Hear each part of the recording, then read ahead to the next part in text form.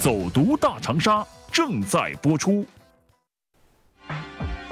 长沙，一座既古老又充满现代感的大都市，这里有悠久的历史底蕴，有传承至今的乡土文化，同时这里还有拔地而起的摩天大楼、霓虹闪烁的摩登生活。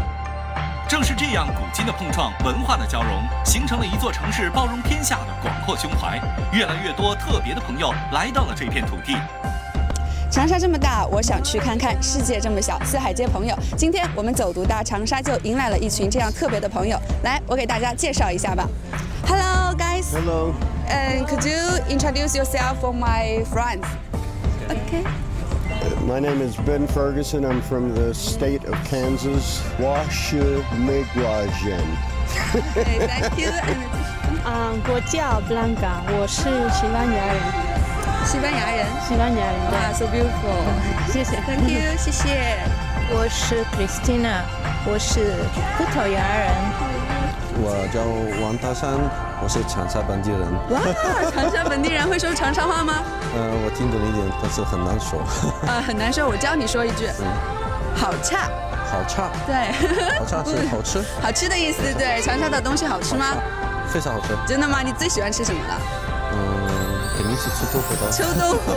这位操着一口流利中文、自称长沙本地人的王大山同志，其实来自意大利，是外国语学院的一名外教，在长沙已经生活了四年多。都说有朋自远方来，不亦乐乎。像王大山这样在长沙观光、学习、工作和生活的外国朋友，每年都不下百万。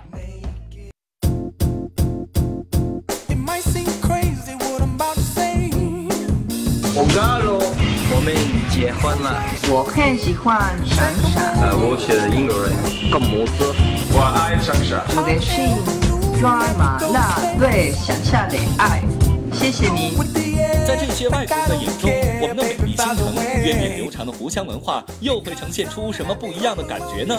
在长沙市委宣传部、市政府外事侨务办公室的组织下，这里是长沙栏目组有幸参与了此次“快乐长沙我的家”主题宣传活动，与七十多位来自各行各业的国际友人一起来了一个特别的长沙一日游。Are you ready?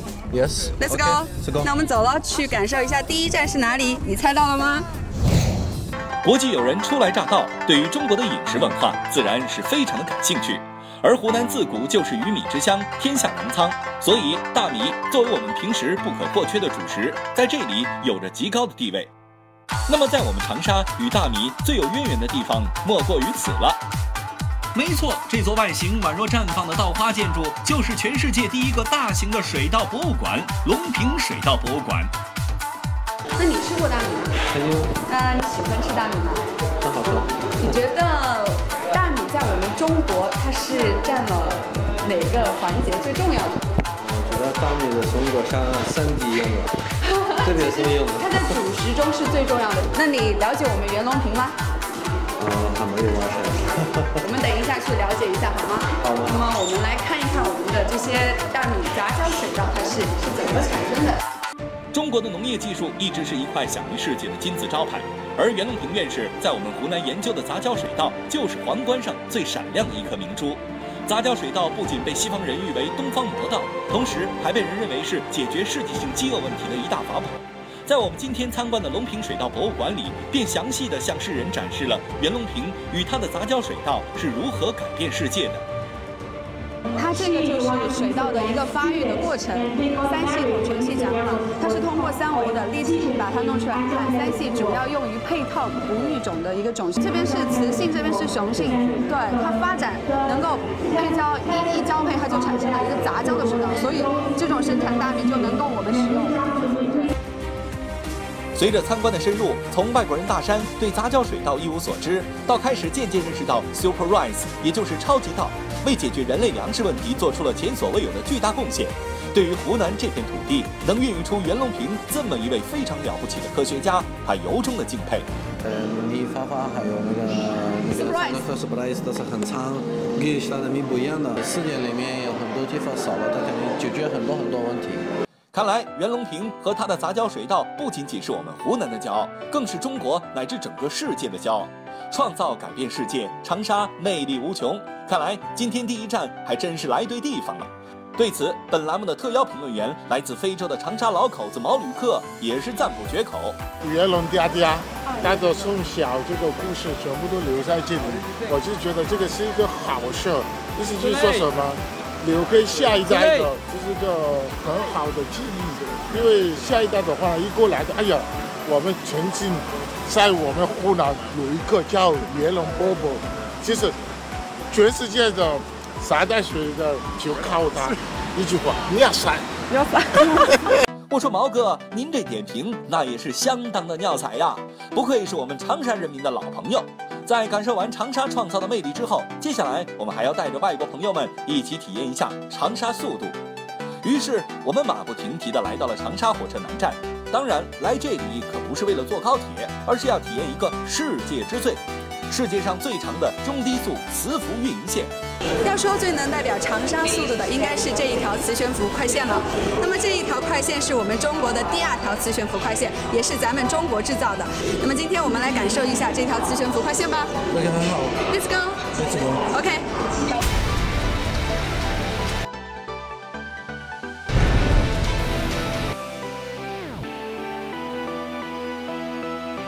说到长沙的磁浮快线，无疑是高端科技的集大成者。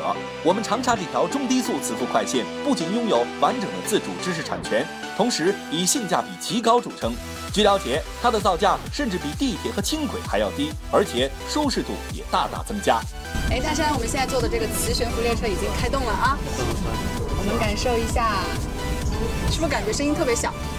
它现在很文静，没有声音，很稳静，很稳，对不对？就感可以安静的睡觉了，看一下风景。对对于这条磁浮快线的舒适度，外国朋友们纷纷点赞，甚至在列车全速行驶中，香烟还可以做到直立不倒。所以用时下最流行的语言来形容的话，那就是老哥稳。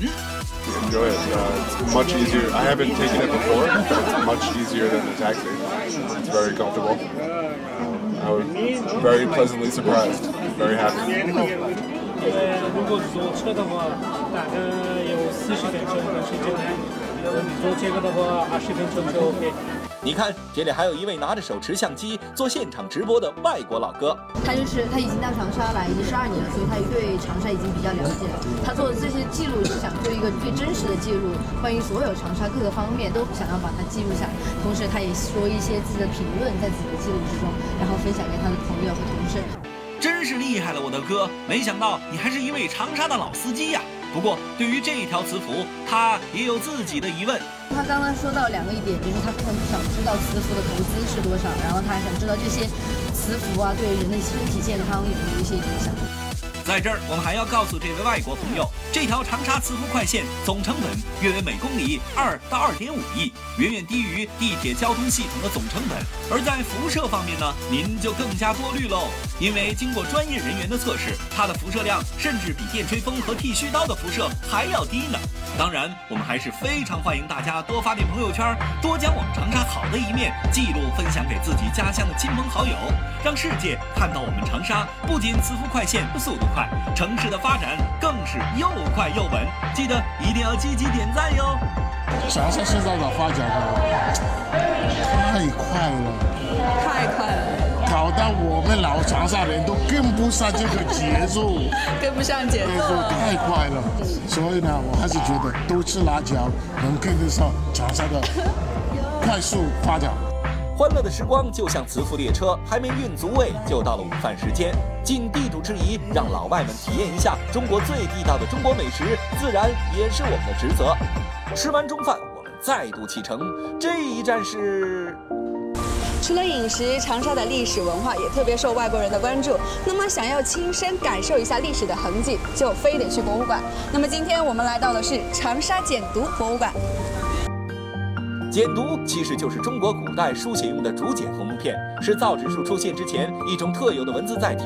而我们中国的汉字源远流长，又是中华五千年文化传承的载体，所以参观简牍博物馆不仅能让外国朋友了解长沙古时候的风貌，更能领略湖湘文化的博大精深。看这个简牍，可以感受到呃以前的长沙的生活，很有特色。特特色的中国的东西。就是我以前不太了解中国，呃，以前在我的国家，我看中国的电电影，然后感觉就是中国是一个国家，就是功夫，然后中国菜。但是到了中国以后，我知道了很多中国的历史。所以说，传统的才是民族的，民族的才是世界的。能让来自世界各地的参观者产生如此强烈共鸣，甚至每年吸引着无数外国人来到中国亲身感受，这也正是传统文化无可抵挡的魅力。文化之旅还在继续，我们离开了解读博物馆，马上就来到了长沙的地标性建筑三馆一厅。Hello，大家好，今天我们的最后一站来到的是文化气息非常浓厚的长沙市图书馆。那么在这里正在举行的是“快乐长沙我的家”文化主题交流活动。那么这个沙龙会上有什么有趣的故事呢？让我们来看一看吧。原来这是一场以诗歌朗诵为主题的文化沙龙。在这里，不仅有萌萌的小可爱们朗诵《诗经》的表演，连金发碧眼的老外们也认认真真、有板有眼地学起了中文，纷纷上台秀起了中文。我叫赵子燕，我叫安文慧，我们来自千年前府、百年校名的湖南大学。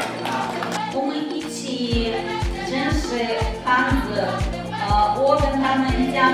呃中国的历史，中国的故。在解读博物馆，我们一起领略了汉字的古老。现在，我们又在这儿体会到了汉语的魅力。快乐的长沙文化也让所有来参加文化沙龙活动的朋友们感到意犹未尽，不虚此行。我非常喜欢这样的活动，希望这样的活动会越来越多。我喜欢小朋友呃的那个朗诵，为什么我喜欢这个的话呢？意思就是说，中国的这个文化的话呢，的，已经下已经留给下一代了，下一已经转给下一代，下一代也会转给下一代，所以呢就放心了。在大家的欢声笑语中，本次快乐长沙外国人眼中的长沙活动也愉快地画上了圆满句号。近年来，长沙不断向国际化大都市目标迈进，城市开放度日渐提升。据统计，二零一五年长沙共接待入境旅游者一百二十万人次，常住人口四千多人，与五大洲的四十三个城市结为友好城市。越来越多的外国人开始知道长沙的名字，了解长沙的文化，分享长沙飞速发展的喜悦。大家好，这边是我们的长沙，我们都爱它。好了，欢迎回来。看来在外国人的眼中，长沙是一个美丽的城市，幸福的城市。近年来，随着长沙城市开放度的提高，来长沙定居的国际友人也越来越多。那么，他们为什么要舍近求远来到中国，在咱们中国这么多城市当中选择长沙定居呢？下面我们就来连线一位生活在长沙的老外。Hi John。哎，你好。哎，请自我介绍一下给大家。Hello，我是 John，来自美国，我在长沙待了四年多了。我以前在长沙理工读书，读了土木工程。我刚毕业的，我一直在，我住的一直在长沙，我好喜欢长沙。就是您身边的外国朋友在长沙工作的多不多呀？有好多人在这边工作，都是外国人。那那为什么你们就是会选择在长沙工作呢？因为有有五点方面吸引我们。嗯。长沙。历史悠久的文化古城，嗯，交通便利，第三，经济发展非常快，对，美食还有美女。谢谢。那么近年来，长沙以打造内陆开放新高地、创建国家中心城市为目标，在对外开放上取得了较好的成绩。那么今天我们也非常荣幸地邀请到了长沙市外事侨务办办公室副主任。钟发力钟主任，请他来谈谈长沙对外交流的一些成果。好的，欢迎钟主任。钟主任您好。您好。就是在近几年给大家谈一谈长沙在对外开放方面取得哪些成果。好的，我首先想，就是谈一谈这种改革开放的成绩，让我们普通人都能感受到的一些变化吧。嗯。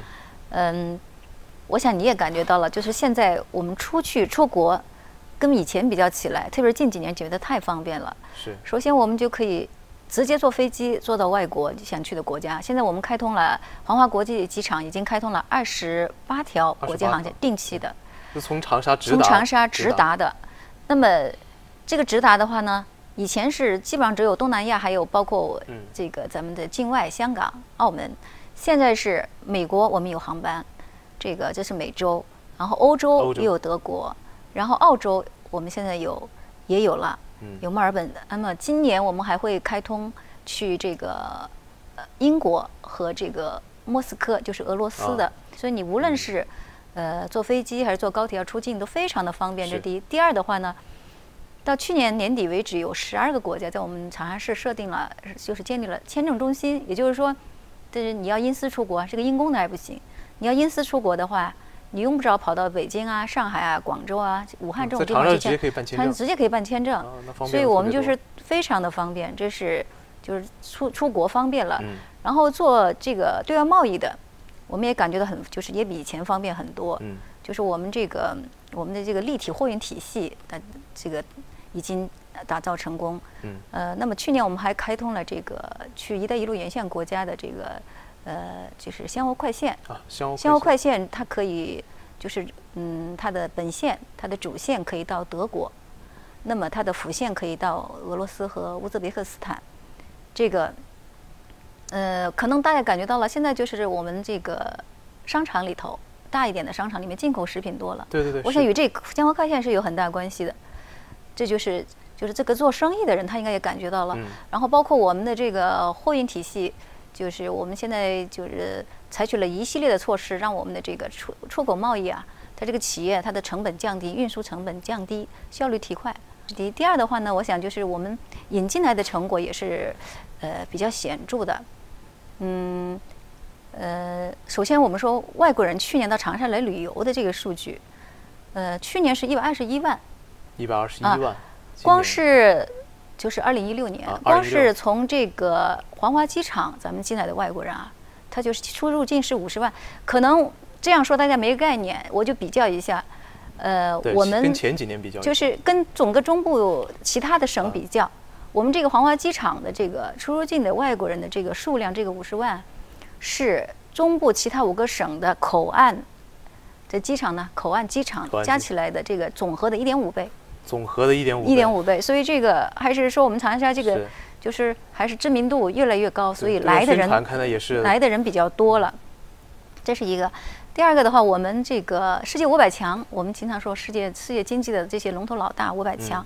它有一百四十家在我们长沙投资，然后有二十多家这国际商会在我们长沙建立了，在在我们长沙成立。嗯，这都是一些引进来一些非常就是，呃，也是我们这改革开放的一个很很重要的成果吧。对，我们近几年长沙这些对外开放取得巨大成就，也跟我们长沙市上上下下、湖南上上下所有的呃人的努力是分不开的。嗯，也谢谢钟主任今天做客我们的演播室。